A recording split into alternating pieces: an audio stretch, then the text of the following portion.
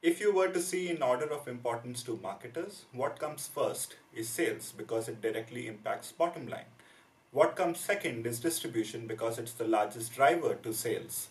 What comes third is velocity.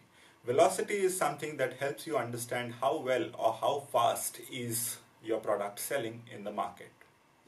In today's video, I will be explaining the concept of velocity from a marketer's point of view. Understanding velocity helps you understand whether consumers love your product and there are a lot of other things that you can understand with it. So let's get started with today's video. The world of marketing is vast, complex, and rapidly evolving. But with just a bit of help, it can be a lot of fun. On this channel, I simplify real world marketing for all the curious minds out there. Hi, I'm Rahul, and this is the business of marketing. If you are new to this channel, please hit the subscribe button. At the same time, if you have any thoughts or comments on what else you would want to see you know, on this channel, uh, do let me know in the comment section below.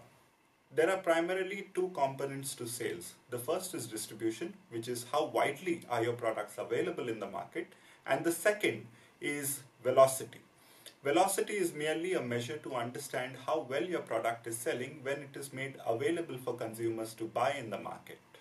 When you look at it in the form of a mathematical equation, you see that sales is equal to distribution multiplied by velocity.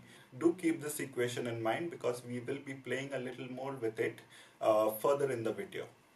So what exactly is uh, velocity? How do you go about defining velocity? It is very simple. Velocity is a measure that tells you how fast a product or a brand or a category is selling when it is made available for consumers to buy in the stores. Velocity data is captured as a part of the overall retail shopper audit. It is captured every time a sale is recorded in any of the stores. The formula for calculating velocity is very simple. It is derived from the earlier formula that I had shared with you regarding sales. Velocity is equal to sales divided by distribution. To understand the concept of velocity a little better, let me share a very, very simple example. Just keep in mind that this example is not reflective of how things are calculated in the real world. This example is merely to help you understand the concept of velocity better. In our example, the market is Singapore the total number of stores which exist in the market are 20 and we are looking at the period of April 2020. There are two brands that we are going to talk about in this example, brand A and brand B.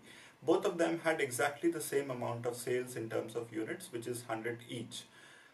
However, when it comes to distribution, brand A has a distribution of 10 stores, while brand B has the distribution of 20 stores. And when it comes to velocity, brand A has a velocity of 10 units per store and brand B has a velocity of 5 units per store.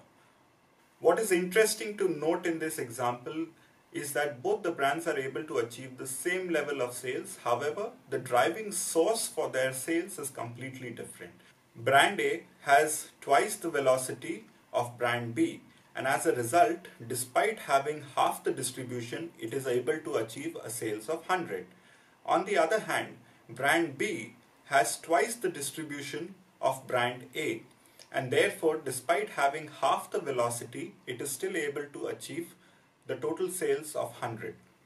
Therefore, we can conclude by saying that the sales of brand B is being driven by distribution and what it needs to focus on is why is the velocity so low and what is it that it needs to fix so that the demand for the uh, products can improve in the market.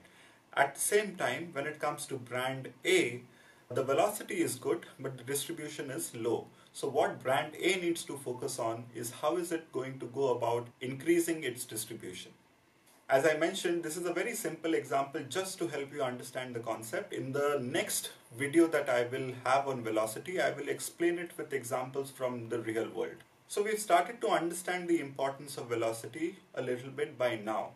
Let me explain a few more things as to what makes velocity or understanding the concept of velocity really important for your brand or for your product in terms of marketing. Velocity helps you get a complete perspective of sales by each product type, by every little region, and the overall market. It also helps you to decide which are the products that you should prioritize when it comes to the amount of push that you do in terms of distribution. And therefore, when you have the velocity data, you can use it to make a case for expanding distribution.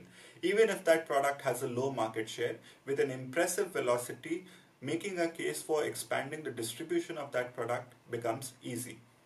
At the same time, velocity can also help you identify other competitors. Some of these competitors might have gone unnoticed because they have very low market share. But if they have an impressive velocity number, they could become formidable competitors in the future. So with the help of velocity, you're able to identify those competitors and then start keeping a tab on how their performance is improving over a period of time. So that brings me to the end of uh, today's video.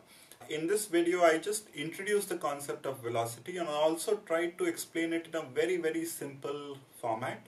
What I am going to do in my next video is talk about some of the measures which are actually used in the real world marketing when velocity is being calculated. I really hope you liked this video and if you did, please hit the like button. And if you have any thoughts or comments or anything else that you would want me to clarify, please leave your thoughts in the comment section below. And uh, thank you for being a part of Business of Marketing. I will see you soon in my next video.